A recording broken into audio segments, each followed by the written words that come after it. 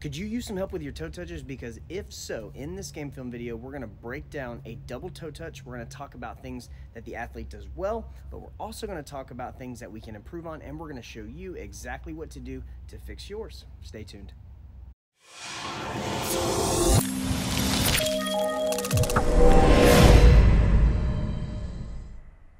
All right, let's watch it a couple of times, and then we'll break it down frame by frame. So right off the bat, we can tell he has a lot of power, but there's definitely some things to clean up on. We'll watch it one more time just so we can take some mental notes.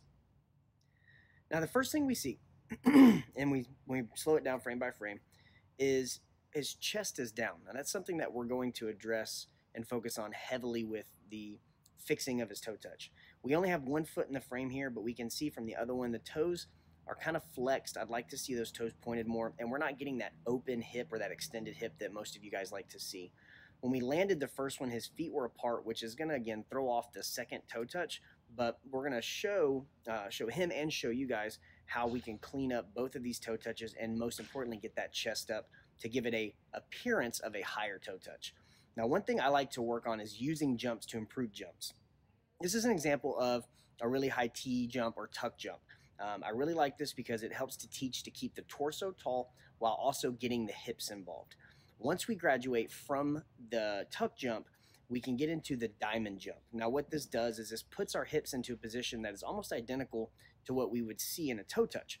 Knees are coming up, hips are open, and you can imagine if he were to have his legs straight, how high his toe touch would be um, at this point. And so, by using the diamond jump, we can teach to keep a tall torso, also keep the hips in a proper position, and get some explosive power through the legs. Now we see here the leg raises. This is a drill that's pretty common when working on toe touches. I'm a huge fan of it because it builds strength and requires you to use strength of the hip muscles, not just pure flexibility. So one thing you'll notice is that he's up against a wall. The reason for that isn't to make it easier. It's actually to put him in a position where his torso is more upright, which is going to mimic how we want to do our jumps. Now from here, we can also open the legs a little bit wider as we get um, more comfortable with this and as we start to progress it. Um, but don't feel like you're forced to go into a super wide straddle or a middle split um, to get benefit out of this exercise. So for the athlete that we had that sent us the video, the things I would recommend for him is to continue to work on explosive power. He's got good strength, but we can always get higher. Number two would be to work on keeping that chest and torso upright. Using the tuck jump and the diamond jump can help to start to lay down a foundation for keeping the chest up, keeping the eyes up, and also maintaining some of the good things that he's doing, like good arm placement and straight legs.